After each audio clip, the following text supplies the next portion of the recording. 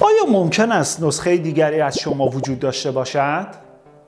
بله بله این غیر ممکن به نظر می رسد اما این دقیقا مانند زمانی است که آلبرت اینشتین معادله نظریه نسبیت عام را نوشت. این نشان می‌داد که جهان در حال گسترش است. اما خود او گفت نه نمی‌توانم این را باور کنم. اما دوازده سال بعد مشاهدات نشان داد که جهان در حال گسترش است. و امروزه فیزیکدانان معتقدند که هر یک از ما هزاران نسخه های ممکن یا به عبارتی کپی های مختلفی از ممکن ها در جهان های دیگر داریم فیزیک کوانتوم این را multiverse می نامد. در واقع جهان های موازی که به عنوان بعد موازی جهان متناوب یا واقعیت متناوب شناخته می شوند سطحی از هستی هستند که به طور همزمان وجود دارند کل فضا، زمان، ماده، انرژی، اطلاعات، قوانین فیزیکی و ثابت هایی که آنها را توصیف می کنند و مجموع همه جهانهای موازی بالقوه که واقعیت را تشکیل می دهند مولتیورس یا چند جهانی نامیده می شوند. ادبیات داستانی مدت هاست که ایده دنیای دیگر را از اسطوره، افسانه و مذهب وام گرفته است. بهشت، جهنم، اولیمپوس و یا ولهالا همگی جانهای جایگزین متفاوتی از قلمرو مادی آشنا هستند. افلاتون عمیقا در واقعیت های موازی تعامل کرد و نتیجه آن این بود که واقعیت بالایی کامل است در حالی که واقعیت زمینی پایین سایه ناقصی از بالا است. برای اینکه بفهمیم چرا احتمالا نسخه هایی از شما در جهان های موازی بیشماری وجود دارند بیایید از کوچک شروع کنیم.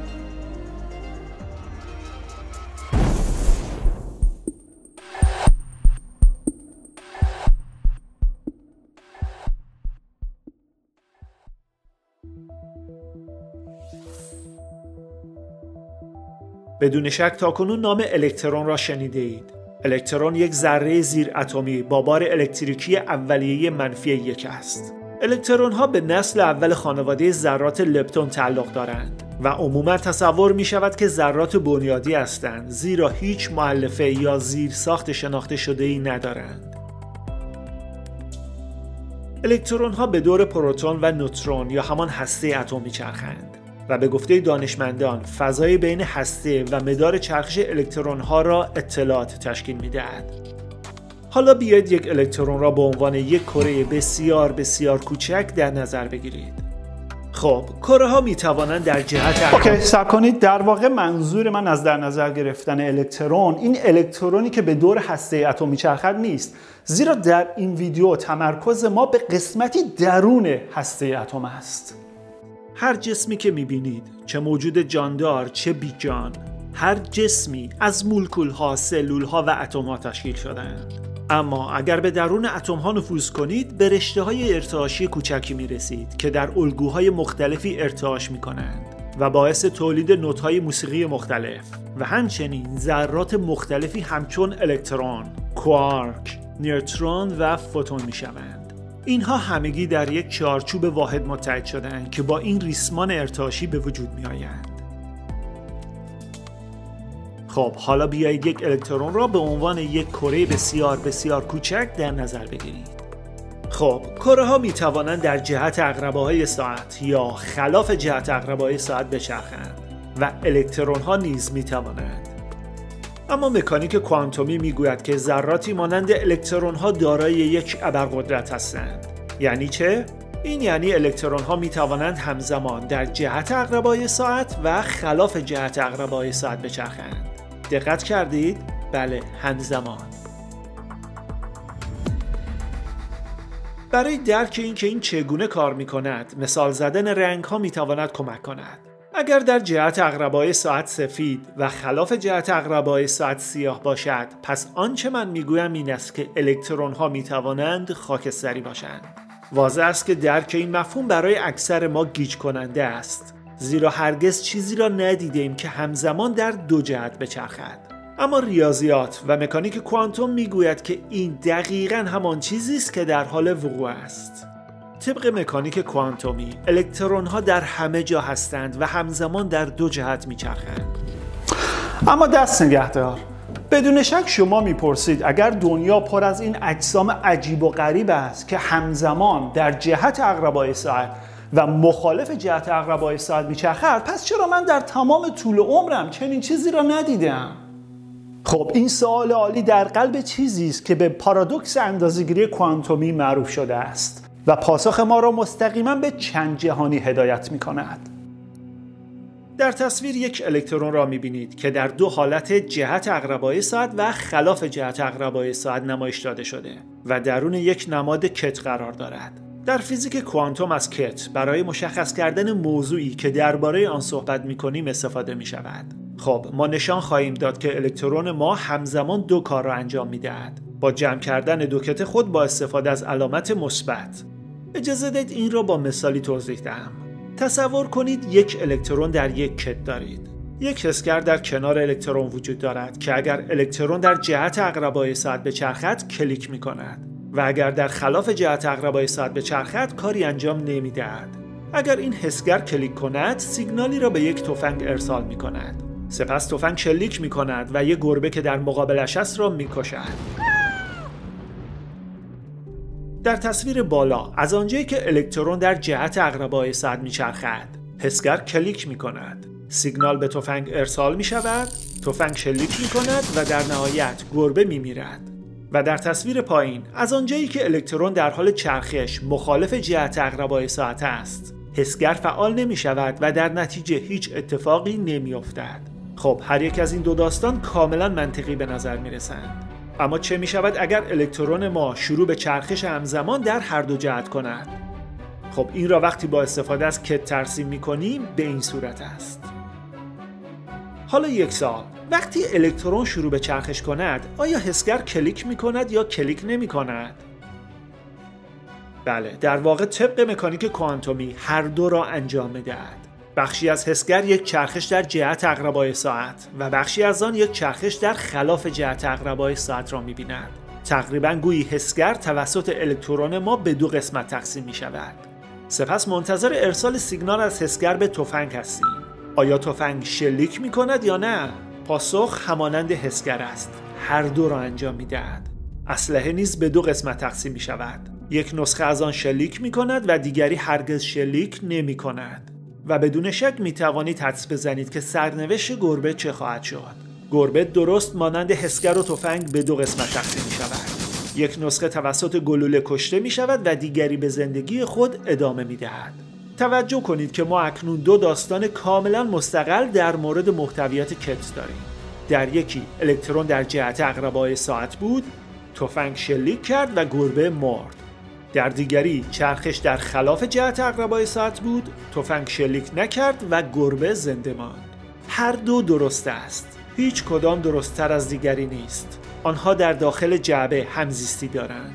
آیا الکترون در جهت اقربای ساعت میچرخد یا خلاف آن؟ هر دو. حسگر کلیک کرده یا نه؟ هر دو. گربه زنده است یا مرده؟ هر دو. خب حالا اگر می‌پرسید که پس چرا من فقط یکی از اینها را تجربه می‌کنم یکی از اینها را می‌بینم یعنی یا گربه زنده یا گربه مرده پاسخ این است که زیرا خود تو هم درون این کت هستی نه ناظری خارج از آن. یعنی خود تو هم مانند الکترون مانند حسگر تفنگ و گربه به دو قسمت تقسیم می‌شوی. بنابراین در هر دو مورد آزمایش کننده فقط یک نتیجه را می‌بیند. گربه زنده یا گربه مرده حالا حدود 80 سال پیش بود که دانشمندان کشف کردند که یک اتم یا یک ذره زیر اتمی مانند الکترون می‌تواند همزمان در دو مکان مختلف حضور داشته باشد. آنها تک الکترون ها را از طریق یک شکاف که بر روی یک مانع ایجاد کرده بودند به سمت صفحه پشتی شلیک کردند. بعد از شلیک هر الکترون در مکان مورد انتظار حضور داشت. اما وقتی آزمایش را چندین بار تکرار کردند تمام الکترون های منفرد یک الگوی راه راه را ترسیم کردند یعنی ویژگی رفتار امواج. این نشان می‌داد که از هر الکترون شلیک شده بیشتر از یک نسخه در صفحه پشت وجود داشت. و این یعنی این ذرات خودشان را تکرار و یا به عبارتی تکثیر کردند. پس سوال این است آیا ممکن نیست موجوداتی که توسط همین ذرات تشکیل شده اند تکرار نشوند؟ اجازه بدید یک چیزی رو یادآوری کنم. در ابتدا یک سلول وجود داشت. این سلول به دو تقسیم نشد بلکه این سلول به دو تکثیر شد. و تکثیر یعنی عمل یا فرایند کپی شدن چیزی. سپس دو به چهار تکثیر شد. هشت شونزده و و و و تو در آنجا نشسته ای. در آن زمان بود که دانشمندان اعلام کردند جهان توسط دیوان خانه از قوانین فیزیکی به نام مکانیک کوانتومی اداره می شود. بنابراین با توجه به این تفاسیر نسخه هایی از شما ممکن است زندگی های ممکن متفاوتی را داشته باشند که اگر تصمیمات متفاوتی می گرفتید می توانستید داشته باشید با این حال تنها واقعیتی که اکنون برای شما قابل درک است واقعیتی است که در آن زندگی می کنید اما اگر از دست کسانی هستید که حوث سفر بین جهانها و دیدن خودتان را دارید متاسفانه دانشمندان فکر نمی کنند که به طور فیزیکی امکان سفر بین جهانها وجود داشته باشد. حداقل فعلا. بله به طور فیزیکی. چرا که با فرافکنی اختری این مهم موثر خواهد شد. بنابراین ویدیوی فرافکنی اختری را در همین کانال تماشا کنید. البته هرچند که دانشمندان معتقدند به طور فیزیکی امکان سفر بین جهانهای موازی وجود ندارد اما تاریخ گاهن خطاهایی در سیستم ثبت کرده است. نمونه آن در جولای 1954 زمانی که یک مرد تاجر وارد فرودگاه توکیو شد اتفاق افتاد.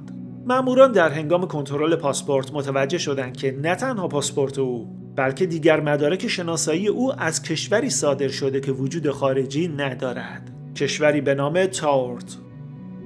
سپس به مرد یک نقشه دادند و از او خواستند تا کشورش را مشخص کند. او بلافاصله به منطقه اشاره کرد که در سال 1954 آندورا نامیده می‌شد. کشوری بین فرانسه و اسپانیا. مرد از دیدن این وضعیت شوکه شده بود.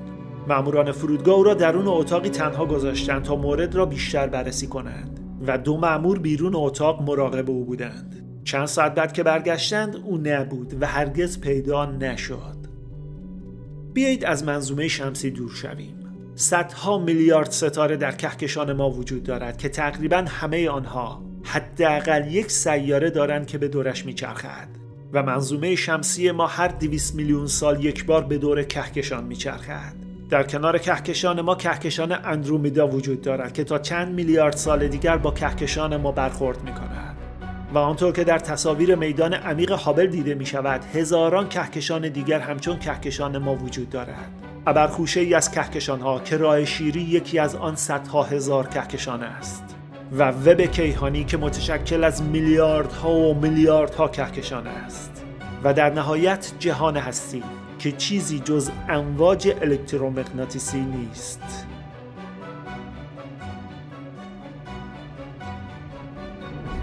اما این همه هستی نیست زیرا در آنجا میلیاردها میلیارد جهان مشابه وجود دارد که دقیقا مانند سلول های انسان تکثیر می شود.